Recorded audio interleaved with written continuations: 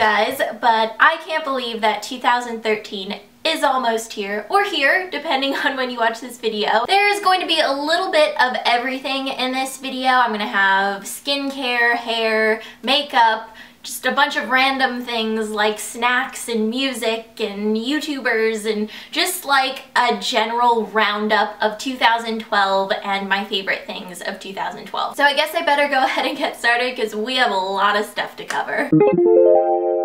Couldn't talk about my skincare favorites without Bioderma. This is the Sensibio H2O, also known as the, I think the Crealine H2O. Don't quote me on that pronunciation because I'm not sure if I said it right. It cleanses your skin and you can also use this to remove makeup and it's a non-rinse formula so you don't have to wash this off of your skin after you use it. For moisturizer, my favorite this year has been the Korres Wild Rose and Vitamin C Advanced Brightening Sleeping Facial, which is a mouthful of a name. It's not greasy on your skin and it helps with discoloration on your face. And then I'm also throwing in some makeup wipes. These are the Simple Cleansing Facial Wipes, which are my new favorite. I love these. They're really gentle. They don't break me out, and they're just great to have around, whether you're not wearing makeup and you just kind of want to freshen up, or if you are wearing makeup, these remove makeup very well. For non-facial skincare products, I have loved the Soap & Glory Clean On Me Clarifying Creamy Shower Gel,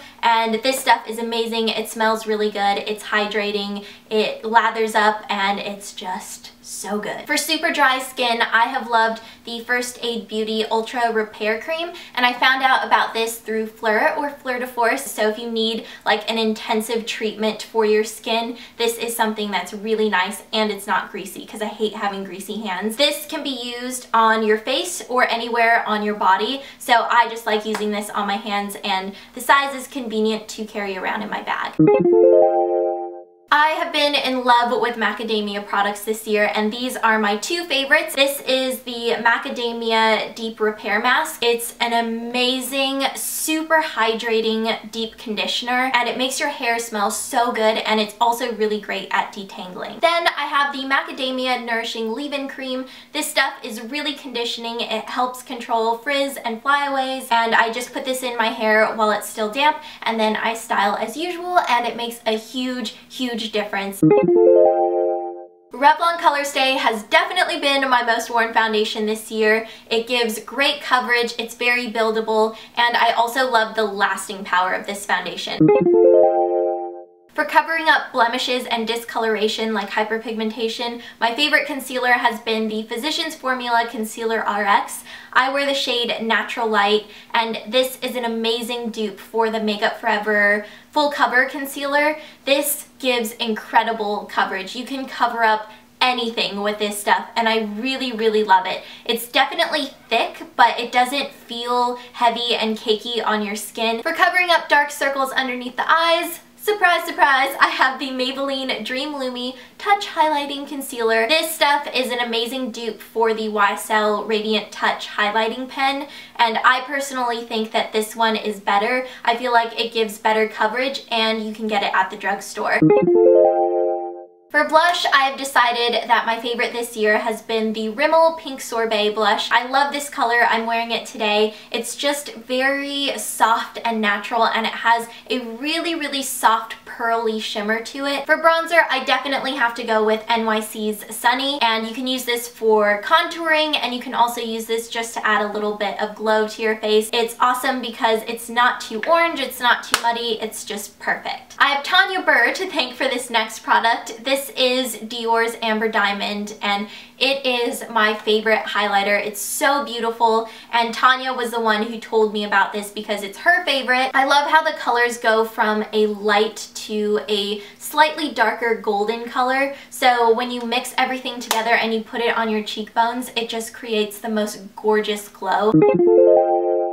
My favorite cream eyeshadow this year has been Maybelline's Color Tattoo and Bad to the Bronze and the entire Color Tattoo line is just awesome and I really like this color just because it's the most versatile for me. And since I couldn't just pick one single eyeshadow because I feel like that's pretty much like impossible for me, I decided to pick my Urban Decay Naked 2 palette these eyeshadows in here have been my favorite this year and I like this palette better than the first one just because I like wearing cooler colors on my eyes and when I travel I don't really have to worry about packing like a bunch of single eyeshadows. I can just throw this in and know that I'm pretty much covered as far as eyeshadow goes. So this isn't going to be much of a surprise for you guys, but my favorite mascara this year has been the Maybelline Falsies Flared. I talk about this all the time because it is my favorite mascara. I really, really love the formulation of this. I feel like it just works really well for my lashes. It makes them look thicker and longer. I love the brush. It makes it super easy to get like the little baby lashes. I really, really love this mascara because it does not smudge on me and that is something I really, really appreciate. And then another product that I love because it does not smudge on me is this eyeliner from NARS. This is the larger than life longwear eyeliner and I love using this on the inner rims of my eyes. So my upper inner rim and then along my waterline and I know that this stuff will not smudge when I use it and that's why I love it so much. I have really oily eyes for some reason. I don't know why, but if I don't prime my eye area properly or if I don't use waterproof products, I will just end up with panda eyes. And I love pandas, but I don't always want to look like one. Dior's Creme de Rose Lip Balm has been my favorite this year and I put this on usually at night but I will use it during the day sometimes too. And I love this because it's really thick and luxurious and when I go to sleep I know that it's really hydrating because when I wake up my lips are super soft and I can still feel it on my lips. And then I also have my Maybelline Baby Lips in Fruit Punch and this has been my favorite lip color this year and I'm wearing it on my lips today and I just really like the soft pink color. I like how it's really hydrating and I love the taste and smell. For lip gloss, I talk about this color quite a bit and I use it a lot. This is my go-to lip gloss color. It's beige by NYX and it's really weird because this isn't a beige color at all. It's like a mauve pink color. Essie's Fiji. Whenever I don't know what color to paint my nails, I just automatically choose this color. It's a really, really beautiful, creamy, milky baby pink color. Burberry Brit Sheer has definitely been my favorite fragrance this year. It's something that I can put on and I don't have to worry about putting too much on because it's a really light, fresh scent and I love that. My favorite place for online clothing shopping this year has definitely been Daily Look and I discovered Daily Look this past year and I've been using their site and I really really like it and I've talked about them quite a bit because I love their stuff. And they're basically just like an outfit of the day site where they have new outfits of the day every day and then you can buy the items if you want to or you can just look at the items and get inspiration for different outfits. So I really love the versatility of the site. One of the things I've been wearing a lot recently from Daily Look is this green coat and if you watched Vlogmas then you saw me wearing this and I just love this green color. I really wanted a green coat because I remember Blair Waldorf wearing a green coat in Gossip Girl and I remember when I saw her in that coat I just fell in love with the idea of a green coat so I've been looking for one ever since and when I saw this one I just knew I had to have it because I was like Blair Waldorf's green coat I've been looking for one like this for so long. I'll be sure to put Daily Looks link down below if you want to go and check out their site and I will also put links for everything else in this video that I have shown or I'm about to show because it just makes it easier for you guys if you want to go and check things out yourself. Another fashion favorite has been J. Crew Pixie Pants. I've worn these so much this past year and I love them. They're super comfortable and these are like the best leggings that I have ever owned. They're super durable and also really flattering. And then my go-to shoes this year have been these guys. These are my Platinum Sperry's and they're definitely very, very worn because I've worn them a lot, but they are super comfortable and when you break them in, they just get even more comfortable and I really like the cushy bottom and I feel like they have just a really nice classic look to them.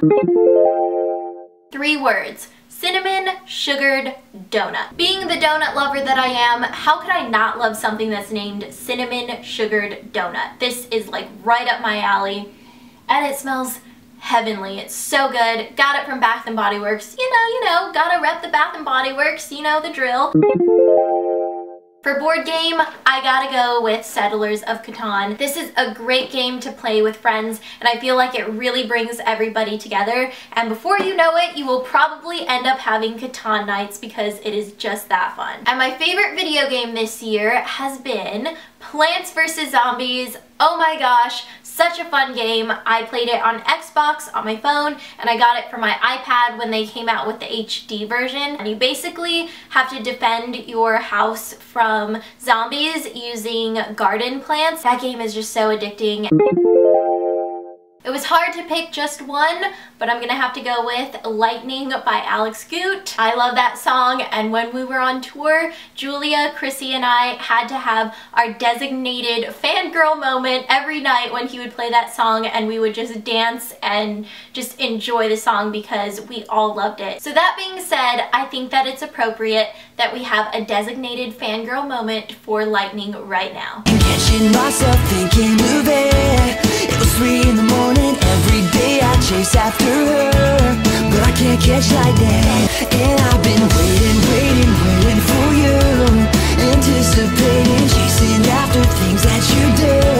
But I can't catch lightning. Waiting, waiting, waiting for you. Alright, dancing hat is off. We had our designated fangirl moment. I hope you guys enjoyed it as much as I did. And that reminded me to include another favorite. I couldn't do a 2012 favorites video without including this guy here. I was gonna say little guy, but he's not so little anymore.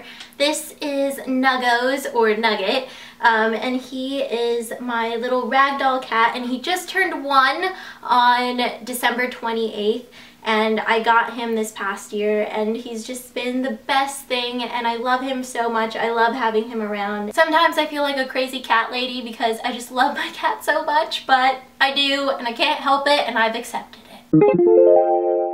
Ben & Jerry's Chocolate Therapy, oh my god, this stuff is so good. Game of Thrones for sure and just the Song of Ice and Fire series in general. I have a review of this book on my second channel which I will link down below where I go into detail about the book and what it's about. It's a pretty complex story so I did my best at trying to explain it but this is just the most amazing series and I highly recommend the TV show as well.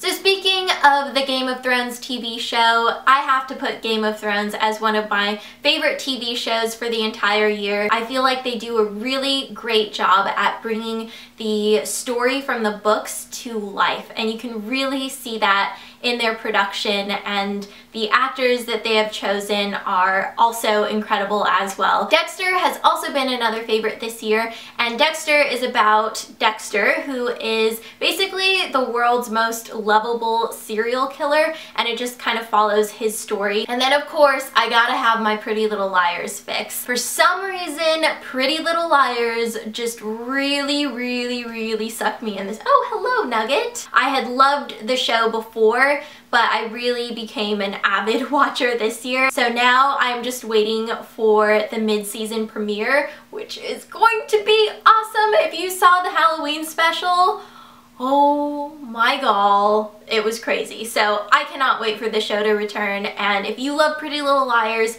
you should tell me down below in the comments because it's always nice to know when other people love the show as well, but such a good show.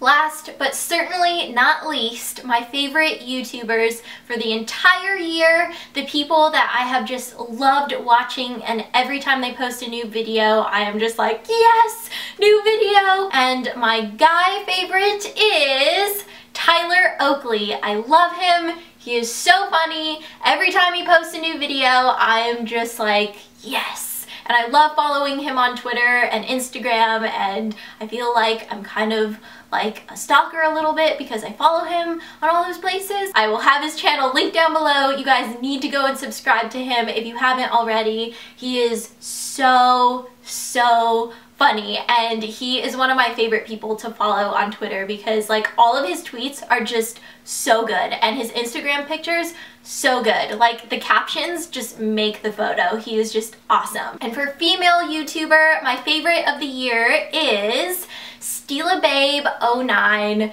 Meredith, I love you. You are so adorable, so cute, and your videos are amazing. Every time Meredith posts a video, she just puts a smile on my face. She's so funny and so cute, but she has great tips too, and I love her style, and when I watch one of her videos, I feel like I'm being transported into like a different world, and I love that. She's just so much fun and such a breath of fresh air and sunshine on YouTube and I just love watching her videos and she gives great beauty and style tips too. So that's just a bonus. So Meredith, I love you and thank you for your videos. I will also have Meredith's channel down below. So if you are not subscribed to her, go subscribe because if you love beauty and fashion, you will love her. So I think that pretty much wraps up my 2012 favorites. I can't believe this year is over. What the heck 2013? Where did you come from? I'm excited for this next year and I'm really excited